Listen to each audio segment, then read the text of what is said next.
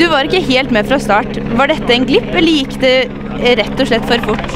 Den som er, det er ingen som glipper i starten på det løpet her. Hvis du ikke er med i starten, så er det for at du er for sliten og ikke har klart å være med. Så enkelt er det. Så her er det den sterkeste først, og den nest sterkeste nummer to, og den tredje sterkeste nummer tre. Så sånn er det. Fortell litt om avslutningen. Nei, jeg prøvde bare å få mitt eget spor der fra det var 1 kilometer igjen, så jeg kunne i hvert fall bestemme min egen skjebne. Og heldigvis hadde jeg litt krutt igjen på tanken, så det var bra. Du hadde ambisjoner om å vinne. Er du likevel fornøyd? Ja, ja, ja. Sinnssykt fornøyd.